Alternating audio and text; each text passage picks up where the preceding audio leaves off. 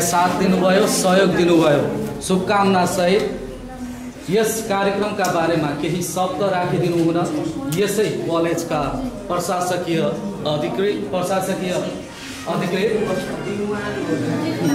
ना नारायण बस्याल सरलाई म आग्रह गर्न चाहन्छु। तथा यो कार्यक्रमलाई समापन गरिदिनु हुन पनि उहाँलाई नै अनुरोध गर्दछु। विशेष गरेर अस्ट्रेलियाबाट आउनुभएका हाम्रो सर रोशन सर लगायत सम्पूर्ण टिमहरूलाई चाहिँ अब यहाँ आउनुभयो विद्यार्थीहरूलाई ज्ञानपूर्ण कुराहरू दिनुभयो धेरै जाने हामी आभारी छौँ।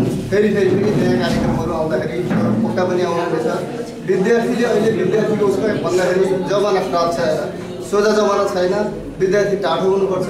हरेक कुरामा अगाडि बढ्नुपर्छ अहिलेको प्रतिस्पर्धात्मक युगमा पछाडि हटेर लुकेर हुनेभन्दा केही छैन दुःख पाइन्छ।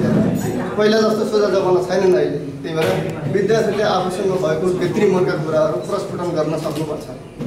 यदि कि जिन्दगी जिउनलाई कि कला चाहिन्छ कि गला चाहिन्छ कि त्यो भएन भने जिन्दगी जिउन गाह्रो छ है यति भन्दै आउनुभयो सरहरूलाई धेरै धेरै धन्यवाद दिन चाहन्छु। र फेरि फेरि पनि नयाँ नयाँ कार्यक्रमहरू पनि ल्याउनु भने पक्कै पनि हामीलाई हाम्रो कलेजमा चाहिँ विद्यार्थीहरूले चाहिँ त्यो ग्रहण गर्न सक्नेछन् पूर्ण आशा छु धन्यवाद